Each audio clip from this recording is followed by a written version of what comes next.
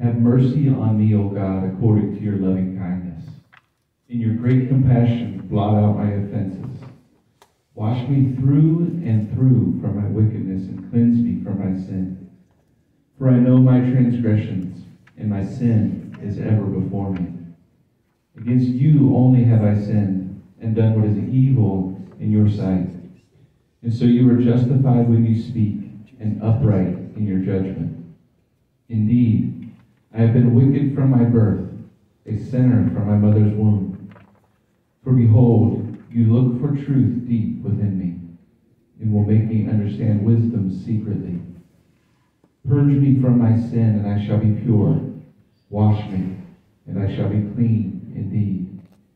Make me hear of joy and gladness, that the body you have broken may rejoice. Hide your face from my sins, and blot out all my.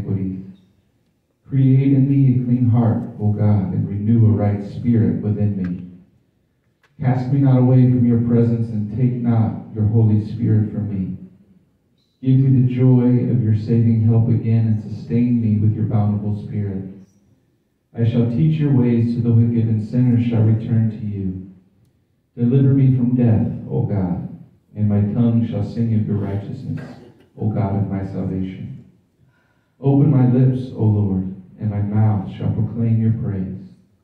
Had you desired it, it would have offered, I would have offered sacrifice, but you have taken no delight in burnt offerings. The sacrifice of God is a troubled spirit, a broken and contrite heart. O God, you will not despise.